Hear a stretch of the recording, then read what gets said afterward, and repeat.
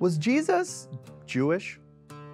As a Gentile believer in Jesus, I was aware that Jesus was Jewish and that he was from Israel. However, no one encouraged me to explore his Jewishness. When a Gentile believer or a Jewish seeker questions whether Jesus was Jewish, I understand their curiosity. So, was Jesus Jewish? And why does it matter?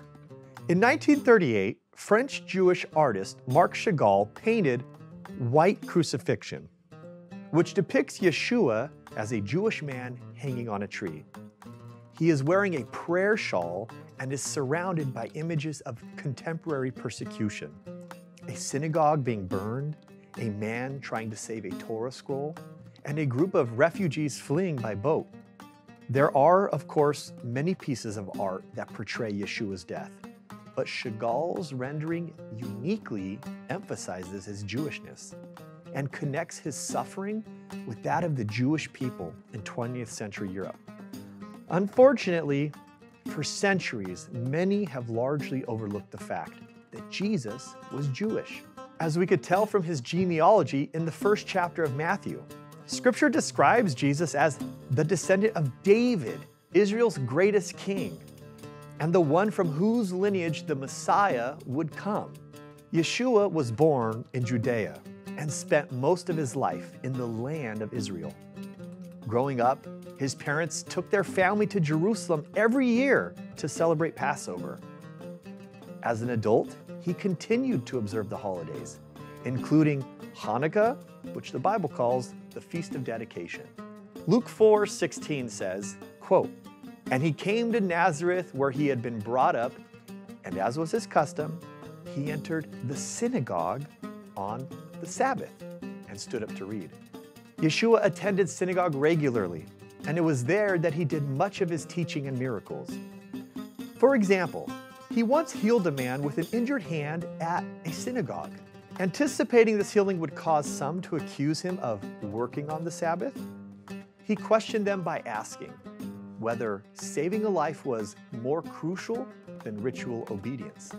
An illustration of the value placed on human life in Jewish culture.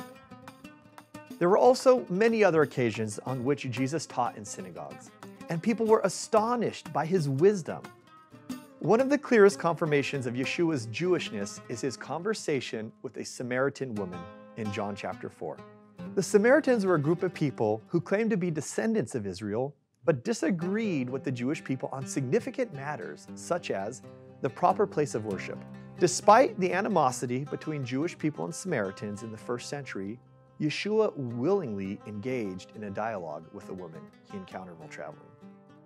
She was surprised and asked how he, a Jewish man, could talk with her, a Samaritan woman.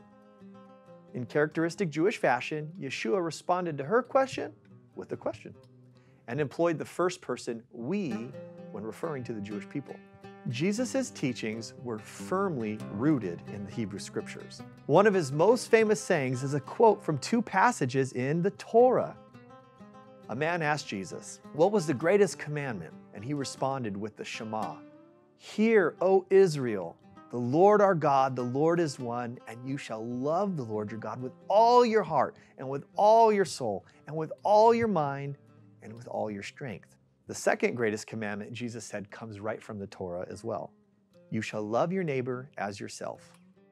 Jesus never despised or sought to set aside the Hebrew scriptures. Rather, he embraced them and taught his listeners to do the same. Jesus is the most influential Jewish person who ever lived.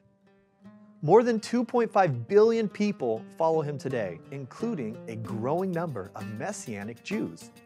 He is a light for revelation to the Gentiles and glory to your people Israel. And this corresponds to an Old Testament prophecy.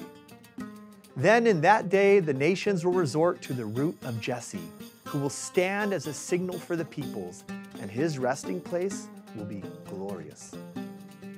Was Jesus Jewish? There's no doubt. However, the salvation our Jewish Messiah offers through his atoning death and resurrection is available to Jewish people and Gentiles alike, to all who believe in him.